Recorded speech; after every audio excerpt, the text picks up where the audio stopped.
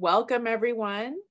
Uh, my name is Fay Yarbrough. I'm a professor in the Department of History, and I'm also um, an associate dean in the School of Humanities. And I host these Humanities Now lectures. Um, we will have two more of these lectures this, uh, the, this these conversations this semester. On October 5th, we will have Eric Huntington who will talk about color across science and the humanities how people perceive color, the meanings we attach to it. And then on November 18th, we have a um, conversation with Jaemin Kim. Um, these two, Eric Huntington and Jaemin Kim, are new professors in our Department of Transnational Asia.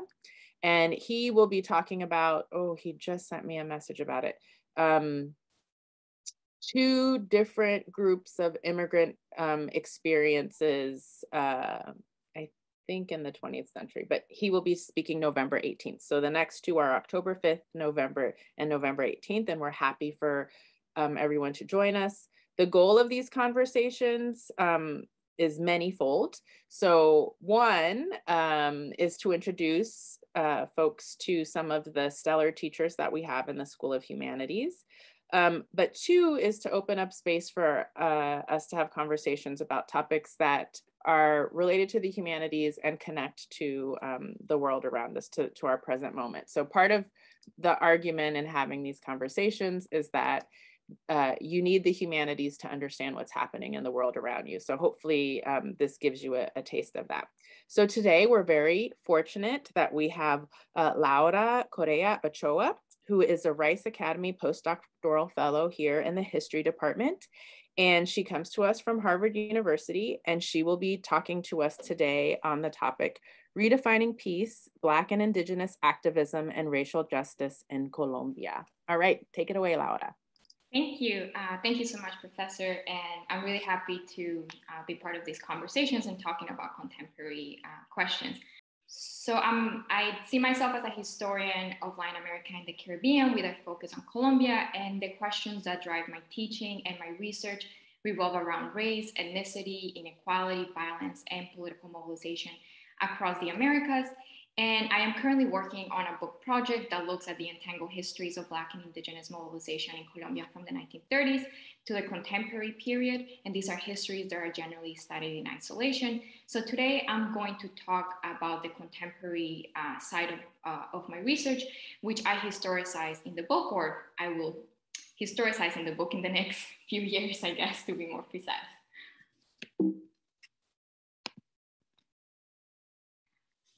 When Colombian politics uh, receive any coverage in North America by mainstream outlets, what typically receives the most attention, what typically receives the most attention is the armed conflict between the Colombian state and various armed groups, including guerrilla rebels, paramilitaries, and drug cartels, which has been going on by at least uh, five decades.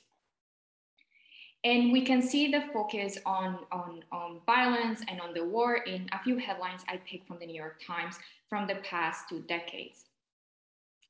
Many of you have also probably watched or heard about Netflix series such as Narcos and shows such as this ones, which are part of a longer history of representations about Colombia, tend to reinforce in the collective imagination ideas of Colombia as pathologically violent and in a constant state of chaos. But what these shows tend to downplay, in, a, in, in addition to sens- sensationalizing the violence, is to downplay the historical as well as uh, the class and racial dynamics of political conflict in the country.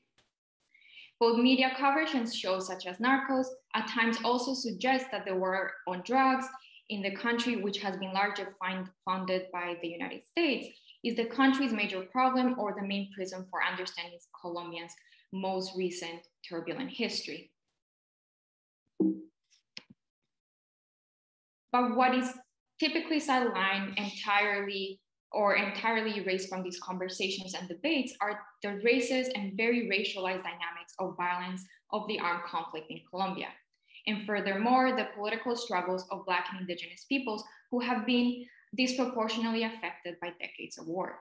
And this process of erasure goes beyond media representations. As I will explain in a little bit, it has been a defining feature of peace building policies in the country in the past decade. Today, I am going to talk about the ways in which Black and Indigenous activists in Colombia are redefining the meaning of peace and peace building by centering the demands for social and ethno-racial justice. I suggest that through their activism, they're challenging official narratives and policies of peace building, which often frame peace almost exclusively as a cessation of conflict and frequently ignore the ways in which race and racism structure the dynamics of the war and the way in which Black and Indigenous people experience political violence in the country.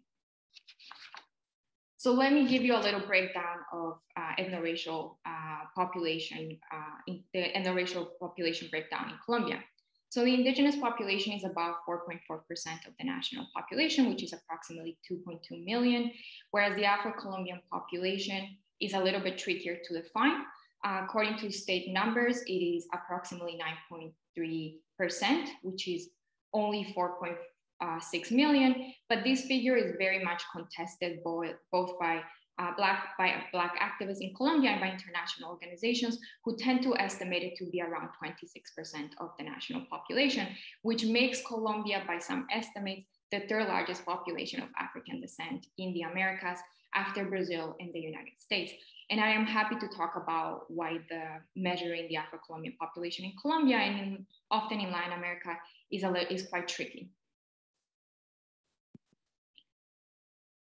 I look at the Ethnic Commission for Peace, which was founded in 2016 by prominent Black and Indigenous organizations around the peace negotiations between the Colombian government and the FARC guerrillas or the uh, Revolutionary Armed Forces of Colombia, gives us a powerful window into how Black and Indigenous people have been sidelined from peace building debates and how they're successfully organizing against these forms of exclusion.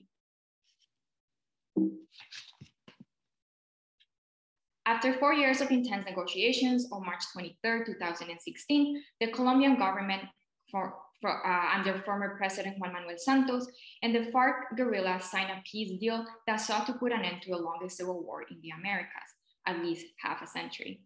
While the origins of the Colombian conflict are extremely complex and contentious, we can largely trace its origins to the ideological and political conflicts of the Cold War in the mid-century and particularly going from the 1960s forward.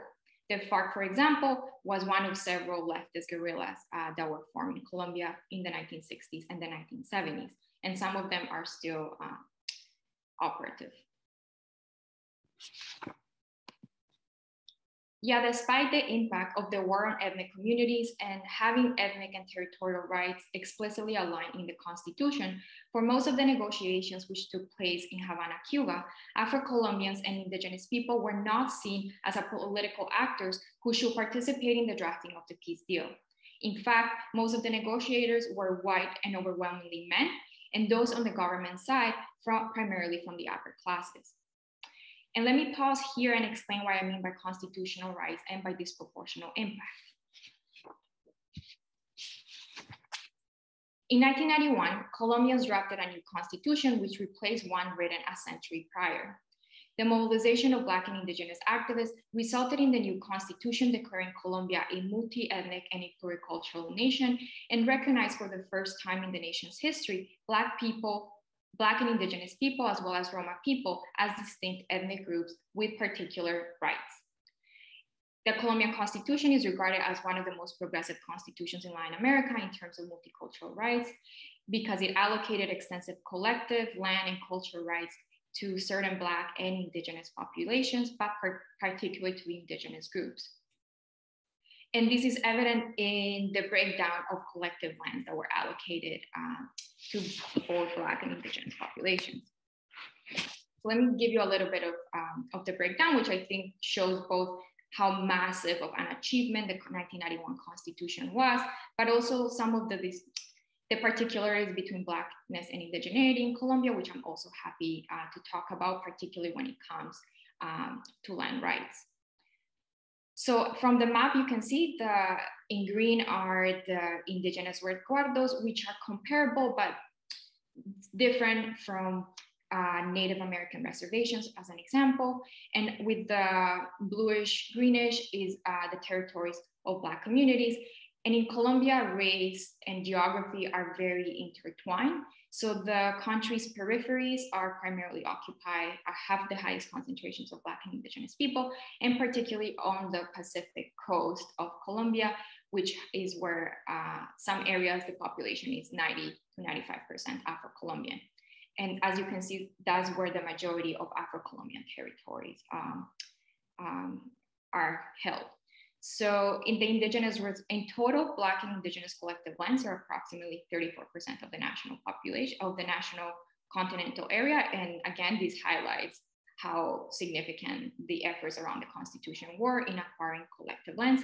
Both Black and Indigenous people who have claims to these lands emphasize the centrality of ancestrality and uh, collective territorial claims. So these lands do not are not based on, on traditional individual property regimes, but rather on collective and ancestral uh, regimes.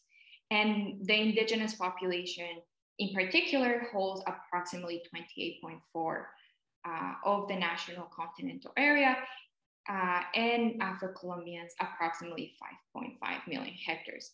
And again, if we compare it to the different population sizes, it is remarkable how significant the indigenous um, lands are.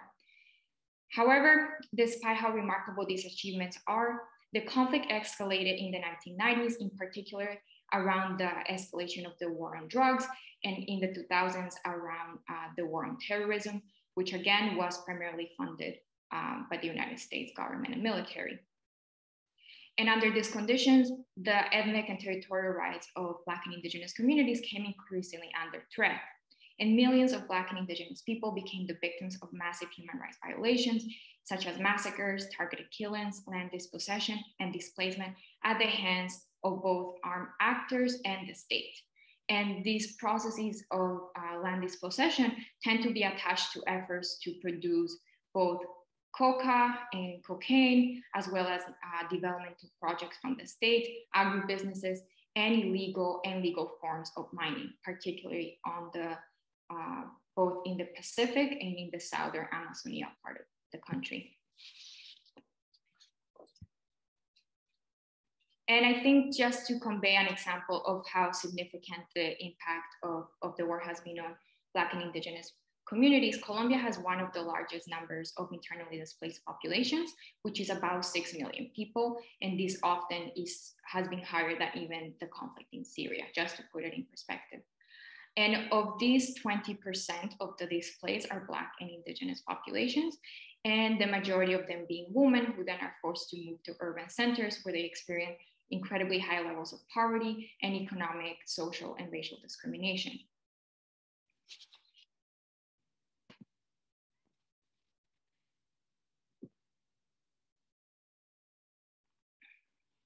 And these um, very concerning numbers is in part why the exclusion of indigenous people from the peace talks was so problematic and what also led to the formation of the Ethnic Commission for Peace.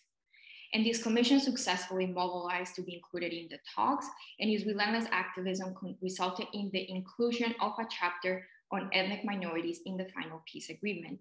And part of the activism of, uh, of, these, uh, of these communities revolve around lobbying the international community, including lobbying members of the US Black Caucus, as well as representatives from the Obama or, uh, administration. And as you can see from this photo, this process continued even after um, the 2016 peace deal. And the argument that Black and Indigenous communities made were that since the US was contributing financially, had a political stake in what was happening in Colombia and in the signing of the peace, they had a responsibility to ensure that the peace accord would respond to the particularities of Blackness and indigeneity in relation to the conflict. And this chapter uh, calls for collective reparations as well as the implementation of constitutional rights of many Black and Indigenous people for territorial autonomy and ethnic rights. In other words, what the ethnic chapter calls for is for the fulfillment and implementation of the 1991 Constitution. And let me read you uh, the opening uh, paragraph of the ethnic chapter, which highlights the main arguments of Black and Indigenous activists during the peace negotiations, which argued that the situation of ethnic groups in Colombia was not simply about the most recent war, but it was a continuation of dynamics set in motion by colonialism and by slavery. And furthermore, that the peace deal had to account for the collective and disproportional experiences of war and violence. In other words, there had to be a collective accounting and a collective process of reparations. And I quote, that the national government and the FARC-EP recognize that ethnic peoples have contributed to building lasting and sustainable peace, progress, economic and social development of the country, and have suffered historic conditions of injustice as product of colonialism, slavery, marginalization, and dispossession from their land, territory, and resources. They have additionally been affected by the internal armed conflict and should be guaranteed full access to their human and collective rights in the context of their own aspirations, interests, and worldviews. Considering that ethnic people should have control of the events that affect them and their lands, territories, and resources while maintaining their institutions, cultures, and traditions, it is fundamental to incorporate the ethnic and cultural perspective for the interpretation and implementation of the final accord for the termination of the conflict and the constitution of a stable and lasting peace deal.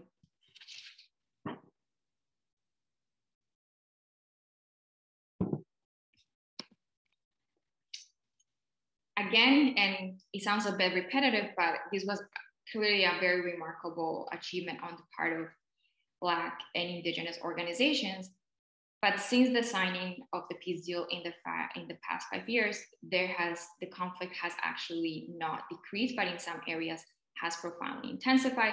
And these are some of the realities that often just don't make it through um, the North American media, despite um, the role that the United States plays both as a political and financial actor in Colombia.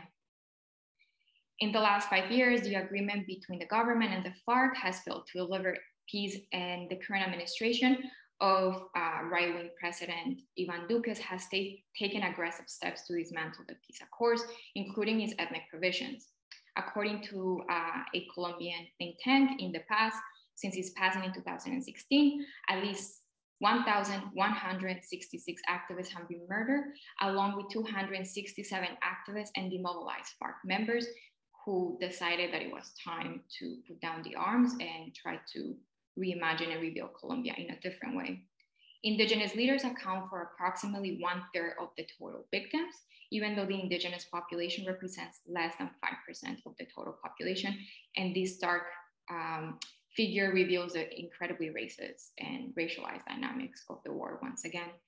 And from January to April of this year, there were also a total of 28 massacres, the mass majority happening in the Pacific region, which, as I pointed out, was uh, one of the areas primarily populated by Black and by Indigenous people, and in uh, Afro Colombian collective territories. Even so, the Ethnic Commission and Black and Indigenous organizations have been at the forefront of ensuring that the peace deal and its ethnic chapter is implemented. They have organized marches, participated in national strikes, including a very recent one, which might have made it to uh, the US news because the uh, Colombian government was incredibly repressive. And they have also organized dozens of events with the international community, including getting Noam Chomsky, Angela Davis, to sort of um, participate in kind of transnational conversations um, regarding the situation of ethnic people in the country.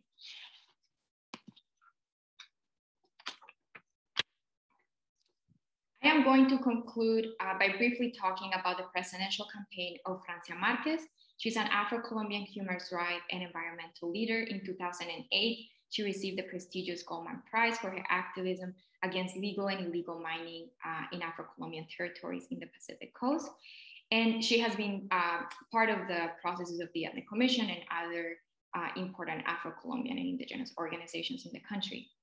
Marquez is running as part of a leftist coalition in the country, and if she were to win, she will be the first woman and the first Black woman to be elected to the presidency, both in Colombia and in Latin America.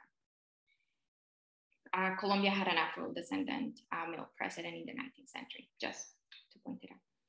And the, the central agenda that she's advocating for is promoting the redistribution of wealth. Colombia has one of the most uh, is one of the most unequal countries in Latin America, particularly with regards to land tenureship. uh, addressing the economic, territorial, and social problems of Black and Indigenous people, including uh, fighting against racial discrimination and racism. Uh, providing reparations for victims of the war. And again, we see the interplay between um, Black and Indigenous organization and peacemaking, transforming the country's extractivist model, which has been uh, incredibly neoliberal since the 1980s, and it tends to have a disproportionate impact on Black and Indigenous territories, as I mentioned, and as well as abolishing the country's carceral model, which disproportionately targets the poor and in many parts of the country, Black and Indigenous men and women. And again, um, her work is very much connected to contemporary discussions around um, racial capitalism and carceral violence. And in a recent um, conversation that she had with Angela Davis, this was one of the topics uh, that they were sort of uh, discussing and the possibilities for building South to North solidar- solidarities between progressive movements. Francia Marquez, like many other Black and Indigenous activists in Colombia, for them, peace does not simply mean that the armed actors, actors put down their weapons. Rather, it implies transforming historical power structures and the economic, racial, and gender systems of exclusion and exploitation that have defined the country's history. Marquez, who foregrounds gender and Black feminism in her work, explained recently in an interview that the leftist political project she was advancing stemmed from a need to reimagine politics, and I quote, from below and from the country's periphery, so that the majority of the population came to believe that they actually had power. In her view, power should not be the monopoly of the privileged elite and privileged white men. Rather, it was found in the streets, in the people, in popular areas, in indigenous people, Afro-descendant peasants, and women. And I will leave uh, here my talk, and um, I will look I look forward to your questions and comments. Thank you so much. Thank you. Um, so now we are open for questions from the audience. Um, you may raise your hand and ask a question. You may um, use the chat feature if you feel more comfortable doing that to ask a question. Oh, Dr. Lopez Alonso is very fast to ask a question. now, I have to admit, normally as the host, I I cheat and I take the first question. I take the privilege of the first question, but because Dr. Lopez Alonso is so fast, I will I will save mine and um, let you go ahead. Dr. Lopez Alonso. Thank you very much, Dr. Yarbrough. Dr. Correa, I very much um, enjoyed your presentation and I have several questions um, on your, like for clarification that are very, you know, that I find very intriguing and, and that can enlighten us even more about the relevance of the Colombian case. And so um, first thing, uh, going to, to the earlier part of your, of your presentation, when you mentioned the indigenous population, uh, if, if you could elaborate more on the diversity of the indigenous population, because you know they they are important actors, and yet um, their percentage seems to be rather small. How in the in the population census, or and how the Constitution defines an, an indigenous person as such? And I mentioned, I mean, many of the, my my questions are going to be as a Mexican and like the how the the Mexican case mirrors the Colombian case which illuminates on how the, the uh, Latin America is a diverse region, and you know even their Afro Afro um, Afro descendant population and the indigenous can be different. So, how do they define? Now, following up on the indigenous, how diverse are the indigenous? You know, you mentioned geography, and yes, Colombia is one of the mega biodiverse countries, and multiculturalism and pluriethnic societies tend to develop, emerge more in countries with a geography such as, such as the Colombian one. And so how diverse is indigenous population? And in terms of politics, how well do they get, how, how do they interact with each other? I'm asking this because I know one of the reasons why it's been the, the conversations among indigenous in, in, in Mexico have been stalled is because they cannot reach an agreement. And because they are so diverse, it's really hard for them to come to an agreement as, as a collective of indigenous. How does this look in the case of Colombia? The other thing is uh, on the issue of, um, on the topic of Afro-descendants, does Colombia make a difference between Afro-Colombians and Afro-descendants? And this is a village idiot question because I know that in Mexico, it is something, it, the distinction is made. And you know, I, I know this because it's um, for the first time in um, in the population census, the question about Afro-descendant, Afro, Afro-Mexicans and Afro-descendants has been formulated. So um, just because this is, I mean, it's a different history than the, than the history that of Mexico. How how does it play in, in, in Colombia, which is fascinating because you know uh, slavery was abolished later in in Afro in Colombia than it was in Mexico, and um, so and before were there any differences in you know I find fascinating this the 1991 Constitution. Mexico had this this acknowledgement of being a multi-ethnic, multi-diverse, uh, plural-ethnic, plural plurilinguistic um, um, country in the 1980s. So is, is Colombia recognized as, as a plural, um, plurilingual um, society? I mean, I, I don't know, I would like to know. And this also um, brings me to the issue of like, where, where the rights of the, the Afro, Afro-Colombians and indigenous and the constitution, does this permeate into education? Are there changes? Um, because it's, it's one way of fighting uh, you know, marginalization and inequality, is there a provision for um, indigenous or, or multilingual education among Colombians? I mean, this is something that I was um, that I was curious about. And then also, could you elaborate a little bit more on how the land tenure? I mean, this is another thing where you know it mirrors. I mean, there's there's commonalities with Mexican history um, because the FARC and all the and all this conflict, it's an agrarian, it starts as an agrarian co uh, conflict. So I'd be curious to know, I mean, what kind of rights and like what the constitute, I mean, what were the rights to peasants, both Afro, Afro descendants and indigenous in terms of their, what, what were they fighting for? I mean, this is as, you know, someone who experienced the, the you know, who, who teaches on the, the agrarian, the agrarian reform and agrarian origins of underdevelopment in Mexico. So how does the, the Colombian case look? And then, I'm sorry, there's all these questions. One thing that I love about Colombia is that there have been many women in power. Compared to other Latin American countries, it's one country where you see earlier on, like at the end of the 20th century, women occupying uh, positions of power.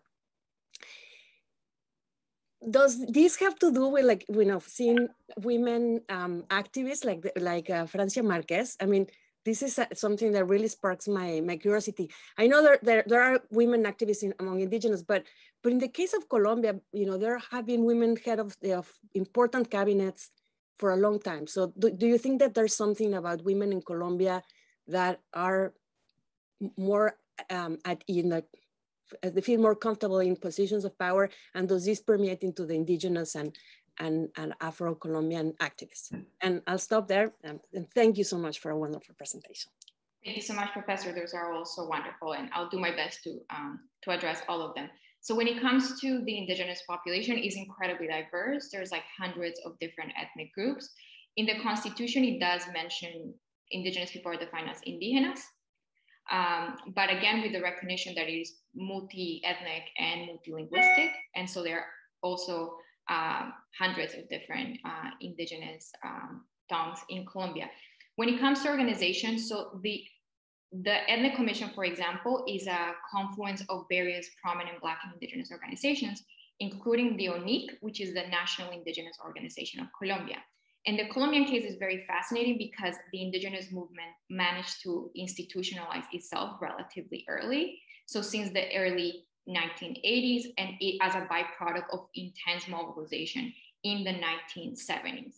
That said, there are, of course, tensions like in any social movement uh, between the various groups.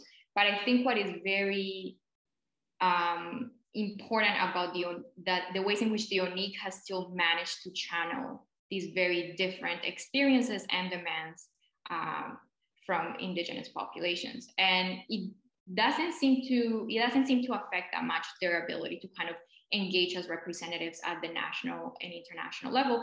And i think precisely because of this international uh, in early institutionalization and this is something i look in my research is that they're able to have a far more centralized relationship with the colombian state. So in my experience i did some i try to work as much as i can with the ethnic commission when i'm in colombia or from the outside And I was, it's just remarkable how the state seems to know what to do with indigenous populations in some way. It's not that they're good or that it's positive, but they have a kind of a longer historic historical way of engaging with them. It doesn't really know how to engage with Afro descendants in the same way. So I think when it comes to development, when the when the Colombian government passes a major uh, developmental program or the national budget, it has to consult, in theory, Black and Indigenous populations. And it has been at times, in, I say in theory because it has been, Colombia's fantastic at going around all these wonderful laws and legislation. Um, but it means often that Indigenous people tend to get an early seat in those conversations. So I think that that is very, uh, very interesting and kind of part of the particularity of Black and Indigenous movements in Colombia. In the case of Afro, of the Afro-Colombian population, a lot of the movements who, part, who participate were in fact in the ethnic commission were kind of movements that were in some ways forced to be created because of the peace, because of the extremity of the conflict in the 1990s. So these are movements that originally emerged as peasant organizations but increasingly realize that the demands they were making have very particular ethnic connotations, in particular, their demands for collective land titles, which set them apart from the other masses of uh, poor and, uh, and landless peasants in Colombia, who, since the Constitution, in some way have struggled to sort of articulate demands um, on the state. So there's a bit of this tension in which the multicultural state, not that it works necessarily well for Black and Indigenous people, but it means that peasants struggle to organize around class. So I think there's this tension that um, that sort of needs to be parsed out a, a, little bit more. And that said, though, there are all, all, often these incredible alliances between the peasant movement as well as Black and Indigenous activists who do often see themselves as, uh, as either peasants or as rural folk in some way or another. So there are, despite these tensions, there are like really remarkable spaces for solidarity and collaboration. When it comes to the Afro-Colombian population in the constitution, it is actually distinguished. So it says Afro-Colombianos or Afro-Colombian palenqueros, which refers to the cimarrones or to the people who um, managed to configure maroon communities for many, many generations in near Cartagena in the coast, in the Caribbean coast of Colombia. And raizales, and ra raizales refers to the Afro-descendant population of San Andres y Providencia, which is one of the islands in Colombia, which acquired in the 19th century. And he speaks both English and Spanish, but also his own uh, form of Creole. And there's all these tensions with the state around language. But in theory, Colombia is a multilingual country and it has to provide education in all those languages. And the indigenous movement since the 1980s has been very much demanding that education and multilingual uh, teachers are training their communities and teaching their communities. And in some areas, they have been quite successful uh, at doing this. Where there has been less success is when it comes part of the constitution mandate of the 1990s, and in particular the laws that came in relation to the Afro-Colombian population had to do with the creation of um, a national curriculum around Afro-descendants that has not been implemented. So there is some tensions that um, that part, and in contrast with Brazil, where there was quite a bit of success with um, both um, increasing opportunities for students of African and indigenous descent in universities, Colombia has been way slower. But again, this also speaks to the fact that the Colombian public system has been under attack for many for many decades. So it's a combination of both not responding to sort of these constitutional um, demands and just the fact that uh, public universities have been continuously defunded uh, for decades.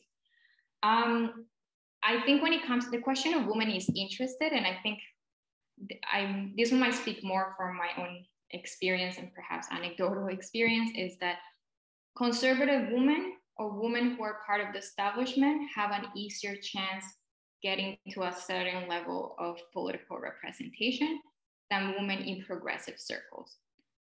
So I think there is a bit that said within the movement, Black women are central consistently through movements.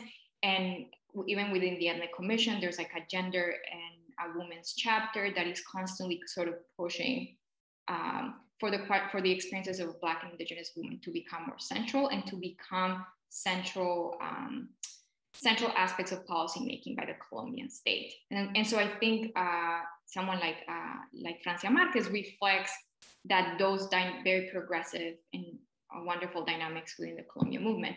But it is harder once you start getting to sort of in electoral politics. We always joke within my progressive bubble that is that to be up to get into politics as a woman, you kind of have to start moving to the right. That there it, is harder to and I guess there is like the case of Colombia, I guess is because there was a lot of women who started kind of getting positions either like in the in kind of bilateral organizations. So in that way, perhaps there is more representation. Um, so just to give you a concrete example, uh, the Ministry of Cult, the two Black women have been appointed as ministers of culture. And while this was very significant because it was the first time that a Black woman was appointed to a ministry, there's also always kind of this tension. It's like, why are you only appointing them to um, to the Ministry of Culture? Why not the Ministry of Labor? Why not the Ministry of Foreign Affairs? Right. So there is kind of these tensions of which spaces they do get to um, to occupy. So that um, I hope that answers most of the questions. Thank you so much. They were so rich. Okay, thank you. Uh, we already have another question from Dr. McDaniel. Thank you for this presentation, Laura. I, I learned so much. Um, my question is about the title of your talk and about the, the concept of peace, um, and basically about how movements or activists frame their demands. Um, I was struck that in the the um, statement that you shared from the coalition, it talked about human and collective rights, and I feel like I'm uh, cutting in, in, in front of my colleague Lora Wildenthal, who's in, in the audience, by asking about um, how they envision human rights in, in collection in connection with collective rights, but also about um, the way you said that the the activists talk about these um, um you know progressive claims under the rubric of peace.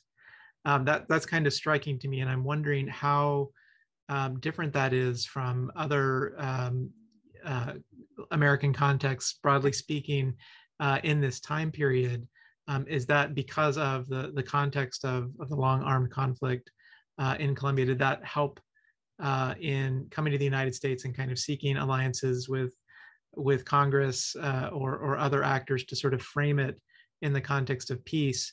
Is it is it strategic, I guess, or or does that speak to a, a kind of deeper substantive um, ideological, uh, you know, redefining and reframing of of peace? So I guess it's a question about frames and where those particular frames of human rights and peace come from because they they strike me as in, in some ways distinctive.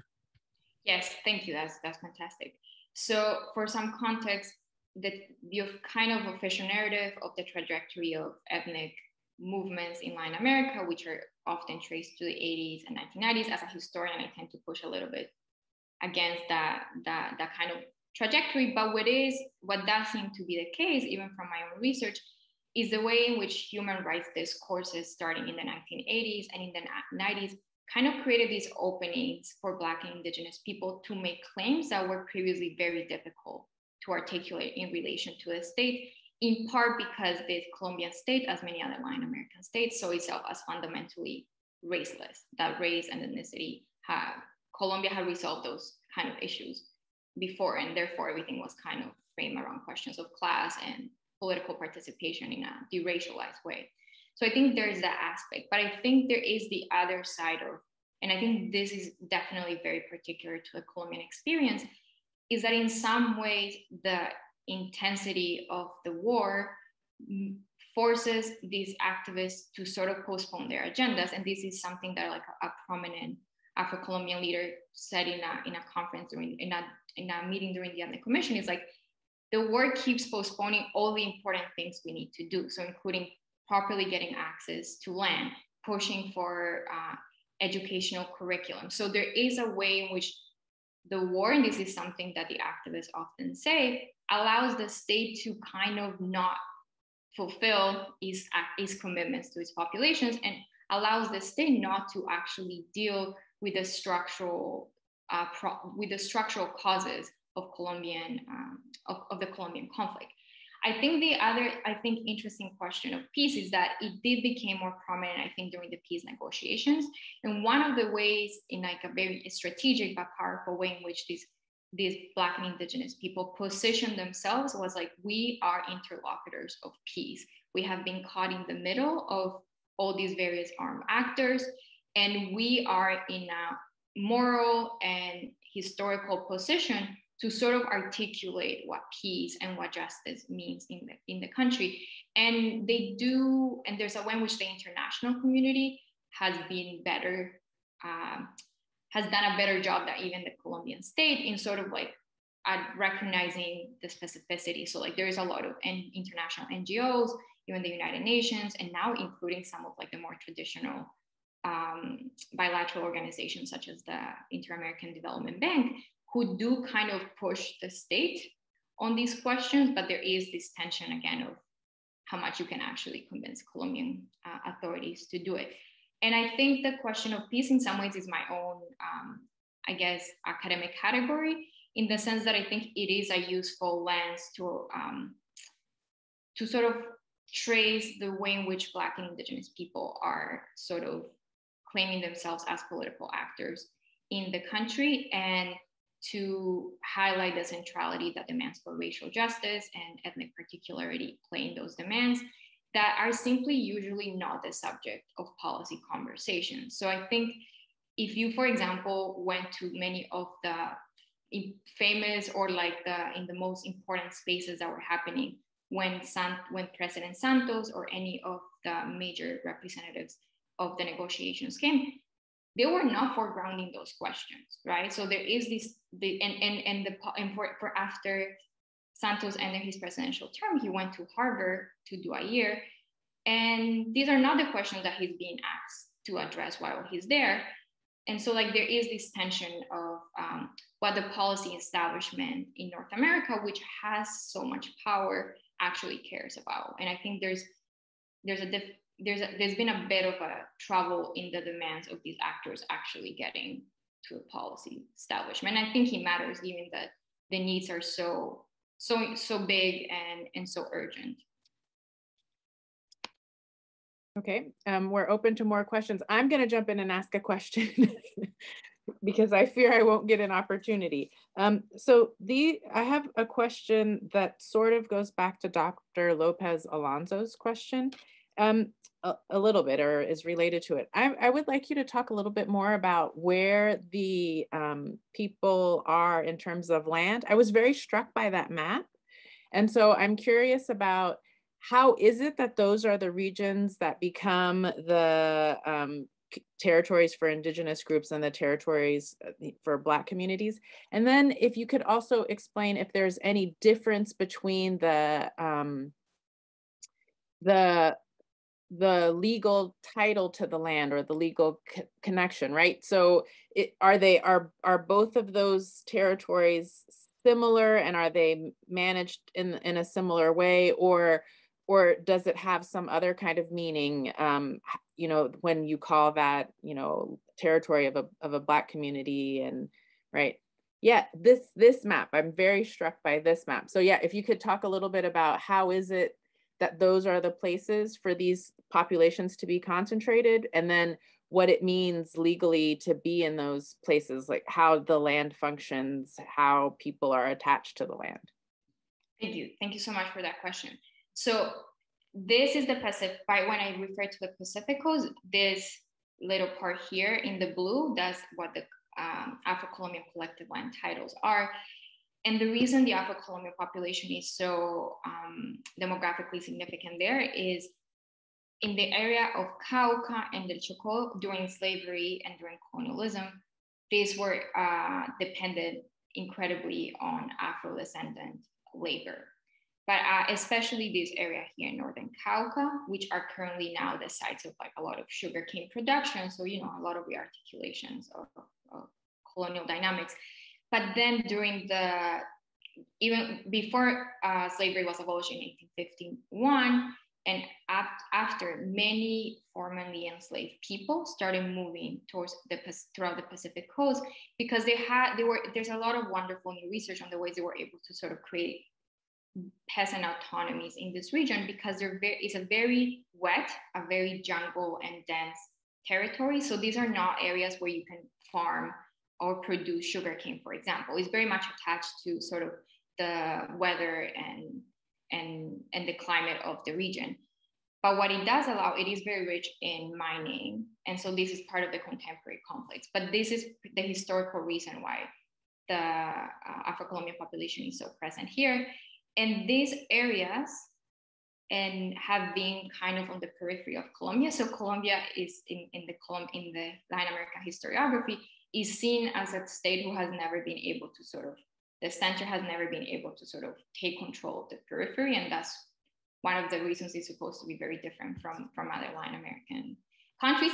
I mean, the state it is present, just militarily. That tends to be often how it is present, but not in terms of like infrastructure, education, and the important um, in the important ways. So this is one of the reasons why uh, the indigenous population here has been sort of allowed to be there without, but they were, I mean, I don't want to get into the details, but there's like also a lot of histories of like removal and land dispossession, both in, in like massive massacres well into the 1970s. Uh, in terms of the legal claims, they're actually very different. So resguardo, which is the category that is applied to indigenous uh, population, is a colonial category, and it was referred to the land that the crown had allowed the indigenous population to sort of occupy. And so some of the resguardos are actually, they were able to trace it, they had the colonial titles and they were able to trace it but then subsequently through uh, indigenous mobilization throughout the 20th century and through uh, and then in the 21st century, they were able to expand and reconstitute many former areas. When it comes to uh, the territories of Black communities, those occupy a very different uh, legal category. So historically, um, in the 19th, in the 20th century, and in the 1960s, during um, sort of forestry and extractivist boom in the region, these areas have been historically populated both by Black and Indigenous populations. But what the Colombian state did was to refer to it as tierras baldias, which is, um, I guess, unoccupied lands for lack of um, the proper translation doesn't occur to me right now. And so, for even though these populations were had very well documented um, collective forms of organizing both labor and property and family relations, the Colombian state essentially kind of flattened those dynamics, which allow a lot of white and mestizo colonos, which translates loosely into colonizers, to sort of get to those territories. So when we get to the 1990s and the war starts getting really out of hand, um, there this is the reason why a lot of black and indigenous people start being either kicked out of the land or experiencing they be, these become really central areas for territorial dispute between various armed actors so what the 1991 constitution does through law 70 which is the law of black communities is to sort of reconstitute those spaces as having us uh, afro descendants having collective claim to the land. But they, they have very different histories and the way that they the state deals with them is also very different. And that's a great question. I think i need to think through this more actually for the book. Thank you. No thank you. Um, we have let's see a couple of questions in the uh, question in the chat. Um, ben asks uh, i'm wondering to what extent black territory on the pacific coast is segregated from integrated into the colombian state Ben. Um, that's a great question. So there, here's where we get into um, questions of political autonomy and self-determination that are very much at the core of the demands that Black and Indigenous activists are making both around the 1991 Constitution, but increasingly given the dynamics of uh, increasing extractivism and incursion in their territories by armed actors. So I think what I think what these move these movements and forms of collective organization are trying to carve out is some kind of regional autonomy with the state. I think this is perhaps a, a way to to think about it. And it's not that they're not trying to be part of Colombia. That is not the, the objective at all. But it is trying to sort of renegotiate with the state what the relationship is. And in parties like allowing them to implement, for example, the right to previous consultation, which is like if the government is supposed to create give a contract to X corporation, the collective uh, communities there get to decide if that's going to be implemented. So I think it's a negotiation between um, the central state and um, Black and Indigenous communities. And I have to say, it's not always very successful. Like at least 48% of um, of Afro-descendant collective lands are constantly being used for illegal mining. And again, this is incredibly this happens through incredibly violent and process of, of dispossession and removal. And this helps explain all the recent massacres as well. I hope that answers your question. Okay. Um, I think we could have one last question before we let everybody go because I know people have in-person class at one o'clock. Um, I can't see everyone because you're sharing your screen, so I can't. I can. sorry. Oh, uh, Dr. Citino has raised his hand. Go ahead, Dr. Citino. Thank you for that uh, very interesting and informative talk, and especially the the answers to I've, I've, to the questions. I've learned a lot. Um, one of the the things that I uh, was very interested in that you talked about are the different political tactics used by uh, Black and Indigenous activists um, including strikes and demonstrations. And um, among uh, those tactics was, um, I think you mentioned, um, a kind of transnational activism in North America, in the United States, and establishing ties with the Congressional Black Caucus, with figures on the American left like Angela Davis, um, with members of the Obama administration. Um, and my question is very simple: Has has that tactic been um, successful? Uh, has it has it produced results have activists been able to leverage the role of the United States, especially the, you know, the economic importance, the economic importance to Colombia of American aid um, in uh, bringing their own voices out, uh, achieving tangible um, political objectives? Thank you. That's that's a fantastic question.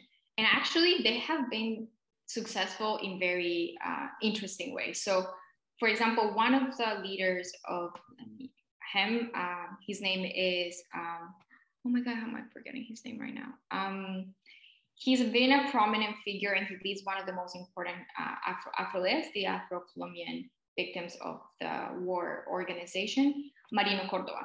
Um, and Marino's Córdoba, I think, is instructive in understanding kind of these transnational histories, which I would love to write or for someone to write about it because it's just fascinating. Um, and Marino uh, was forced to leave Colombia because he was going, he was a, a communal leader and he was going to get killed by the paramilitaries. So he ended up moving to the US. He ended up organizing for Obama's campaign. So again, we get these kind of transnational networks. And he was part of a labor union in the US and he was involved in, in, in those political struggles there.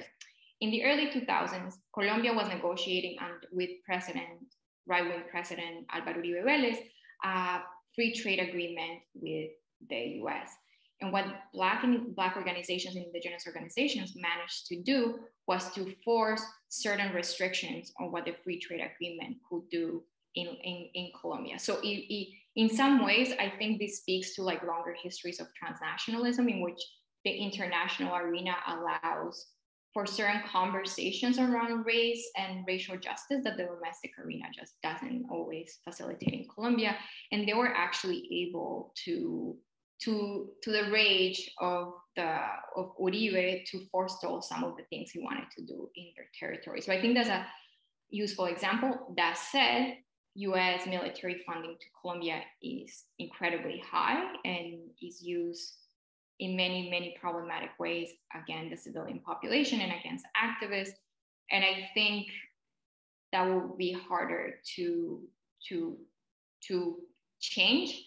However, there was a reason in, in the recent national strike, one of the demands of the, both Black and Indigenous organizations, but just in general civil society in the country, was appealing so that the US stop uh, providing military and equipment that was being used by the police to repress um, political organization in the country. So again, it, it, has been successful in some interesting ways, but then you do have these longer and complicated histories of empire between Colombia and the US that in some ways make it very structurally difficult to um, to fundamentally alter. Um, but they have found great allies like Noam Chomsky, Angela Davis are constant, uh, very well informed and very involved in, in the struggles of these communities and not just recently for like many, um, many decades now. Thank you. Thank you. Thank you. Thank you so much. This was really interesting. I learned a lot. I took notes. I'm going to have to harass you in the hallway even more to ask questions. I'm fortunate, I'm fortunate to be just down the hall from uh, uh, Laura. So uh, this for me is really lucky. But um, thank you everyone for joining us. We really appreciate you giving us an hour of your time to learn and to have this conversation. Again, please feel free to join us on October the 5th for Eric Huntington and November the 18th for Jamin Kim. And again, applause for Dr. Correa. Thank you All so right. much. I'm glad I got to tell you about contemporary stuff in Colombia. Thank you. All right. Thanks, everyone. Have a good afternoon.